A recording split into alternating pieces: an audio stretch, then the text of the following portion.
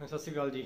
ਅੱਜ ਕਿਸ ਟੌਪਿਕ ਤੇ ਗੱਲ ਕਰਨ ਲੱਗੇ ਆ ਤੁਹਾਨੂੰ ਪਤਾ ਲੱਗ ਹੀ ਗਿਆ ਹੋਣਾ ਵੀ ਬੰਦਾ ਆਪਦੇ ਦੁੱਖ ਤੋਂ ਨਾ ਦੁਖੀ ਨਹੀਂ ਹੈਗਾ, ਜਿੰਨਾ ਕਿਸੇ ਦੇ ਸੁੱਖ ਤੋਂ ਦੁਖੀ ਆ। ਮੈਨੂੰ ਜੌਬ ਨਹੀਂ ਮਿਲੀ, ਇਹਦਾ ਦੁੱਖ ਨਹੀਂ ਹੈਗਾ। ਦੂਜੇ ਨੂੰ ਜੌਬ ਕਿਉਂ ਮਿਲ ਗਈ? ਦੁੱਖ ਉਸੇ ਦਾ ਆ। ਦੂਜੀ ਕੈਟਾਗਰੀ ਵਾਲੇ ਬੰਦੇ ਨੂੰ ਜੌਬ ਕਿਉਂ ਮਿਲ ਗਈ? ਦੁੱਖ ਇਸ ਗੱਲ ਦਾ ਹੈਗਾ। ਜਦੋਂ ਵੀ ਆਪਣੀਆਂ ਪੋਸਟਾਂ ਨਿਕਲਦੀਆਂ ਹੈਗੀਆਂ ਕਲੀਅਰਲੀ ਗਵਰਨਮੈਂਟ ਨੇ ਮੈਂਸ਼ਨ ਕੀਤਾ ਹੁੰਦਾ ਵੀ ਕਿਹੜੀ ਕੈਟਾਗਰੀ ਦੀਆਂ ਕਿੰਨੀਆਂ ਪੋਸਟਾਂ ਹੈਗੀਆਂ। ਆਪਾਂ ਨੂੰ ਕਲੀਅਰਲੀ ਪਤਾ ਹੁੰਦਾ, ਆਪਾਂ ਨੂੰ ਕੋਈ ਡਾਊਟ ਨਹੀਂ ਹੁੰਦਾ ਆਪਾਂ ਕਿਹੜੀ ਕੈਟਾਗਰੀ ਚ ਪੋਸਟ ਨੂੰ ਅਪਲਾਈ ਕਰ ਰਹੇ ਹਾਂ, ਉਹਦੇ ਵਿੱਚ ਕਿੰਨੀਆਂ ਸੀਟਾਂ ਹੈਗੀਆਂ ਤੇ ਕਿਵੇਂ ਮਿਲਣਗੀਆਂ। ਸਾਡੀ ਕੈਟਾਗਰੀ ਵਿੱਚ ਕਿੰਨਾ ਕੰਪੀਟੀਸ਼ਨ ਹੈਗਾ, ਆਪਾਂ ਉਹਦੇ ਅਕੋਰਡਿੰਗ ਹੀ ਅਪਲਾਈ ਕਰਦੇ ਹਾਂ। ਆਪਾਂ ਰ- ਜਿਨ੍ਹਾਂ ਦੀ ਰਿਜ਼ਰਵੇਸ਼ਨ ਹੈਗੀ, ਉਹਨਾਂ ਕੋਲ ਸਰਟੀਫਿਕੇਟ ਹੈਗੇ ਆ। ਉਹਨੇ ਆਪਦੀ ਕੈਟਾਗਰੀ ਚ ਅਪਲਾਈ ਕਰਨਾ ਆ। ਜਿਹਨੂੰ ਲੱਗਦਾ ਹੈਗਾ, ਮੈਂ ਜ਼ਿਆਦਾ ਜ਼ਿਆਦਾ ਪੋਸਟਾਂ ਵਿੱਚ ਅਪਲਾਈ ਕਰਾਂ, ਵੀ ਜਾਂ ਮੇਰਾ ਨੰਬਰ ਉਧਰ ਆ ਸਕਦਾ ਹੈਗਾ, ਉਹ ਆਪਦੇ ਸਰਟੀਫਿਕੇਟ ਸ਼ੋ ਨਹੀਂ ਕਰਦਾ ਤੇ ਉਹ ਜਨਰਲ ਚ ਪੋਸਟ ਫਿਲ ਕਰਦਾ ਆ। ਤੇ ਜਿਹੜੇ ਜਰਨਲ ਵਾਲੇ ਆ ਕਿਸੇ ਹੋਰ ਪੋਸਟ ਵਿੱਚ ਜਾ ਨਹੀਂ ਸਕਦੇ। ਇਸ ਕਰਕੇ ਉਹ ਆਪਦੀ ਕੈਟਾਗਰੀ ਵਿੱਚ ਹੀ ਰਹਿੰਦੇ ਆ, ਕਿਉਂਕਿ 70% ਕੋਟਾ ਹੈ, ਇਹ ਹੈਗਾ। 70 ਨੂੰ ਛੱਡ ਕੇ ਬੰਦਾ ਦੂਜੇ ਪਾਸੇ ਜਾ ਨਹੀਂ ਸਕਦਾ। ਹੁਣ ਲੋਕਾਂ ਦਾ ਦਿਲ ਤਾਂ ਕਰਦਾ ਵੀ ਮੈਂ ਐਸਸੀ ਚ ਅਪਲਾਈ ਕਰਾਂ। ਜਿਹੜਾ ਜਰਨਲ ਵਾਲਾ ਅੱਜ ਸੋਚ ਰਿਹਾ ਵੀ ਮੇਰਾ ਸਰਟੀਫਿਕੇਟ ਬਣ ਜਾਏ ਐਸਸੀ ਵਾਲਾ ਤੇ ਮੈਂ ਐਸਸੀ ਚ ਅਪਲਾਈ ਕਰਾਂ, ਉਹਦਾ ਕਾਰਨ ਤੁਹਾਨੂੰ ਪਤਾ ਹੀ ਹੈਗਾ। ਵੈਸੇ ਆਪਾਂ ਚੰਗੇ ਆ। ਆਪਣਾ ਵੈਸੇ ਬੈਕਗ੍ਰਾਉਂਡ ਆਪਣਾ ਫੈਮਿਲੀ ਸਭ ਕੁਝ ਓਕੇ ਆ, ਪਰ ਆਪਾਂ ਜੌਬ ਲੈਣ ਲਈ ਆਪਾਂ ਐਸਸੀ ਬਣਨ ਲਈ ਤਿਆਰ ਹੋਰ ਬੈਠੇ ਆ। ਆਪਾਂ ਹੋਰ ਐਸਸੀ ਬੀਸੀ ਓਬੀਸੀ ਬਣਨ ਨੂੰ ਤਿਆਰ ਬੈਠੇ ਆ ਹੈਂਡੀਕੈਪਟ ਬਣਨ ਨੂੰ ਤਿਆਰ ਬੈਠੇ ਆ। ਠੀਕ ਹੈ ਇਸ ਤਰ੍ਹਾਂ ਦੇ ਲੋਕ ਹੈਗੇ ਆ ਵੀ ਜਿਹੜੇ ਚਾਹੁੰਦੇ ਵੀ ਮੈਨੂੰ ਹੈਂਡੀਕੈਪਟ ਲਈ ਕੋਈ ਸੀਟ ਮਿਲ ਜੇ। ਠੀਕ ਆ? ਪਰ ਇਹ ਕਿਵੇਂ ਪੋਸੀਬਲ ਹੈਗਾ ਆ? ਆਪਾਂ ਨੂੰ ਪਹਿਲਾਂ ਹੀ ਸੱਤ- 70% ਕੋਟਾ ਮਿਲਿਆ ਹੋਇਆ, ਉਹਦੇ ਵਿੱਚੋਂ 10% ਕੋਟਾ ਹੁਣ ਅਲੱਗ ਤੋਂ ਕਰਤਾ, ਜਿਹੜਾ ਜਰਨਲ ਦਾ ਰਿਜ਼ਰਵ ਆ ਜਿਹ 'ਚ ਕੋਈ ਹੋਰ ਅਪਲਾਈ ਨਹੀਂ ਕਰ ਸਕਦਾ। ਇਕਨੋਮਿਕਲੀ ਵੀਕਰ ਸੈਕਸ਼ਨ ਨਾਂ ਦਾ ਇੱਕ ਹੋਰ ਨਾਲ ਜੁੜਨ ਲੱਗ ਪਿਆ। EWS ਲਿਖ ਕੇ ਬ੍ਰੈਟ ਵਿੱਚ ਜਰਨਲ ਦੇ ਨਾਲ EWS ਲਿਖਿਆ ਹੁੰਦਾ। ਇਕਨੋਮਿਕਲੀ ਵੀਕਰ ਸੈਕਸ਼ਨ 10% ਕੋਟਾ ਉਹ ਫਿਕਸ ਆ ਜਿਹੜਾ, ਜਰਨਲ ਨੂੰ ਹੀ ਮਿਲਣਾ ਆ। ਉਹਦਾ ਸਰਟੀਫਿਕੇਟ ਬਣਦਾ ਹੈ ਜਰਨਲ ਦਾ। ਉਹ ਜਿਹਨੇ ਬਣਾਉਣਾ, ਉਹ ਵੀ ਬਣਾ ਸਕਦੇ ਆ। ਉਹਦੇ ਕੀ ਰੈਗੂਲੇਸ਼ਨਸ ਹੈਗੇ ਆ, ਉਹ ਤੁਸੀਂ ਵੇਖ ਲੈਣੇ ਆ। ਇਹ ਫਿਕਸ ਤੁਹਾਡੀਆਂ ਹੈਗੀਆਂ ਜਨਰਲ ਦੀਆਂ ਸੀਟਾਂ 10% ਆ। ਤੇ ਬਾਕੀ 60 ਤੁਹਾਡੀ, ਉਸੇ 70 ਵਿੱਚ 10 ਤੁਹਾਡੇ ਪੱਕੀਆਂ ਕਰਤੀਆਂ। ਹੁਣ 60 ਲਈ 60 ਵਿੱਚ ਕੋਈ ਵੀ ਬੰਦਾ ਅਪਲਾਈ ਕਰ ਸਕਦਾ, ਜਿਹਦੇ ਕੋਲ ਸਰਟੀਫਿਕੇਟ ਕੋਈ ਰਿਜ਼ਰਵ ਕੈਟਾਗਰੀ ਦਾ ਨਹੀਂ ਹੈਗਾ ਆ, ਉਹ ਸਾਰੇ ਜਨਰਲ ਹੀ ਆ। ਠੀਕ ਆ, ਹੋ ਕੀ ਰਿਹਾ ਹੈਗਾ? ਸਭ ਕੁਝ ਹੋ ਜਾਂਦਾ, ਪੇਪਰ ਹੋ ਜਾਂਦਾ। ਅਪਲਾਈ ਆਪਾਂ ਕਰਤਾ, ਪੇਪਰ ਹੋ ਗਿਆ ਮੈਰਿਟ ਲੱਗ ਗਈ। ਮੈਰਿਟ ਦੇ ਵਿੱਚ ਜਿਹੜੇ ਬੰਦੇ ਜੁਆਇਨ ਕਰਨੇ ਸੀ, ਉਹ ਤਾਂ ਕਰ ਜਾਂਦੇ, ਆਪਦੀ ਕੈਟਾਗਰੀ ਦੇ ਅਕੋਰਡਿੰਗ ਜੁਆਇਨ ਕਰ ਜਾਂਦੇ। ਜਿਹੜੇ ਬੰਦੇ ਹੋ ਜਾਂਦੇ ਫੇਲ ਜਿਹੜੇ ਹੋ ਜਾਂਦੇ ਬਾਹਰ, ਉਹ ਫਿਰ ਆਬਜੈਕਸ਼ਨ ਕਰਦੇ ਆ ਵੀ ਮੇਰੀਆਂ ਗਲਤੀਆਂ ਘੱਟ ਸੀਗੀਆਂ, ਆਪਦੀ ਕੈਟਾਗਰੀ ਦੇ ਅਕੋਰਡਿੰਗ ਤੇ ਦੂਜੀ ਕੈਟਾਗਰੀ ਵਾਲਾ ਬੰਦਾ ਵੱਧ ਗਲਤੀਆਂ ਤੇ ਵੀ ਜੁਆਇਨ ਕਰ ਗਿਆ।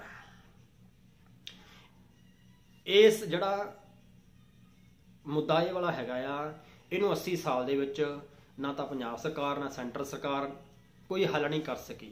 1947 ਵਿੱਚ ਦੇਸ਼ ਆਜ਼ਾਦ ਹੋਣ ਤੇ ਹੀ ਡਾਕਟਰ ਭੀਮ ਰਾਓ ਅੰਬੇਦਕਰ ਨੇ ਇਹ ਚੀਜ਼ਾਂ ਡਿਵਾਈਡ ਕੀਤੀਆਂ ਸੀਗੀਆਂ।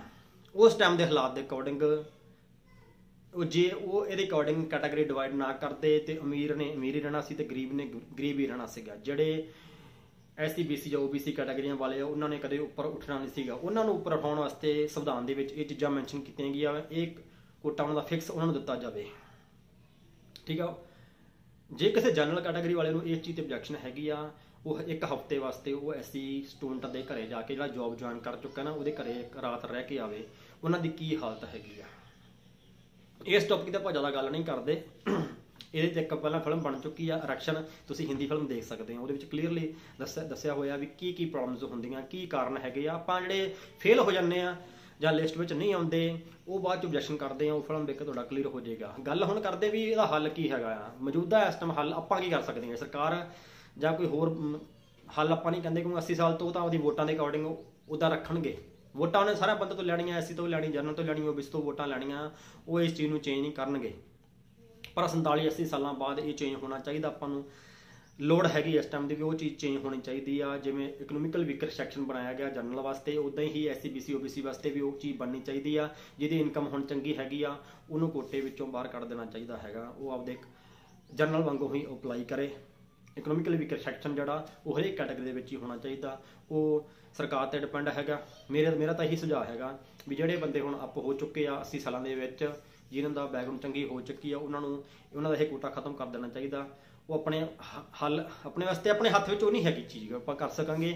ਮੌਜੂਦਾ ਹੁਣ ਜਿਹੜੀ ਹੁਣ ਆਪਣੇ ਹੱਥ ਵਿੱਚ ਗੱਲ ਕਿਹੜੀ ਹੈਗੀ ਆ, ਉਹ ਆਪਣੇ ਦਿਮਾਗ ਵਿੱਚ ਪਰਮਨੈਂਟਲੀ ਬਿਠਾ ਲਓ।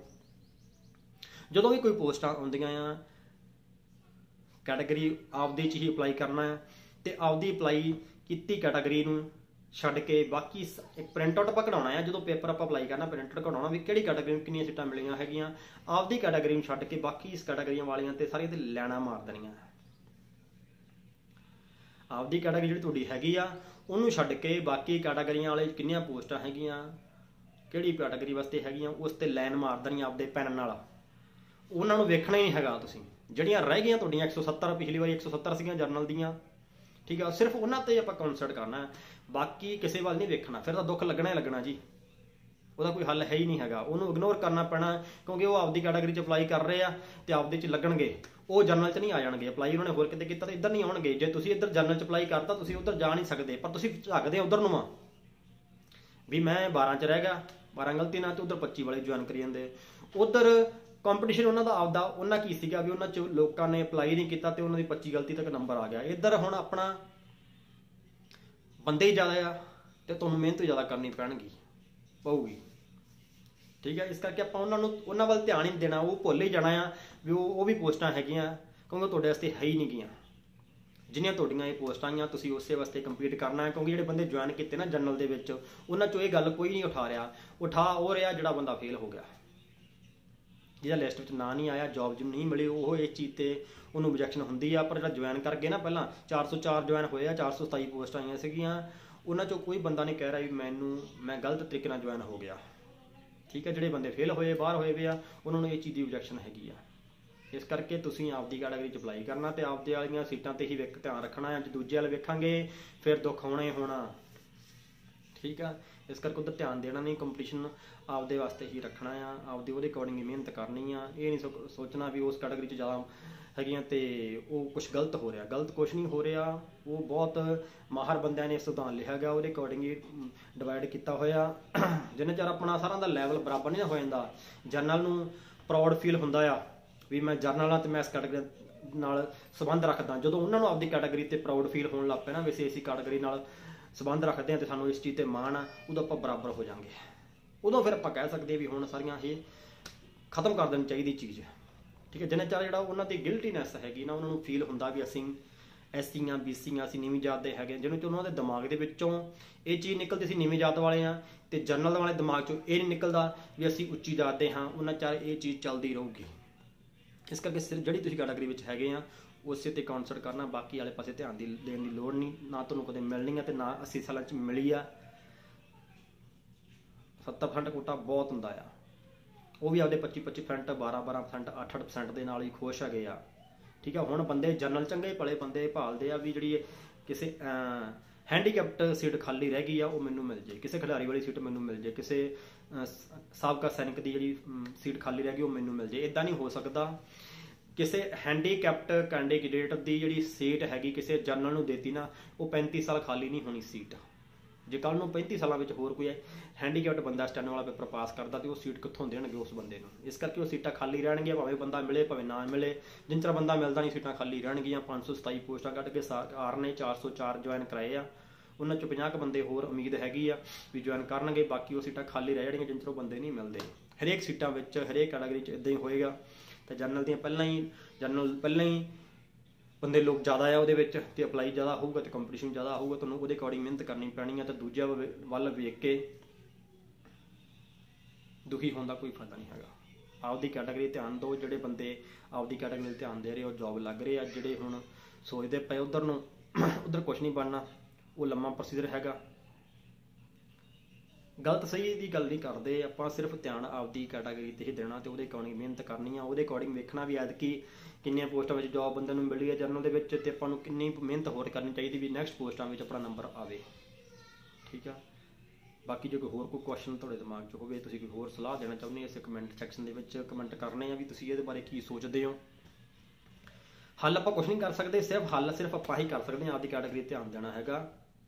ਜਿਵੇਂ ਜਿਵੇਂ ਲੈਵਲ ਬਰਾਬਰ ਹੋਊਗਾ ਨਾ ਵੋਟਾਂ ਤੇ ਜਿਹੜੇ ਊਚ ਨੀਚ, ਠੀਕ ਹੈ, ਜਦੋਂ ਖਤਮ ਹੋਊਗੀ, ਬਿਲਕੁਲ ਆਪਾਂ ਸਾਰੀਆਂ ਕੈਟਾਗਰੀਆਂ ਵਾਲੇ ਇੱਕ ਦੂਜੇ ਬਾਰੇ ਸੋਚਾਂਗੇ।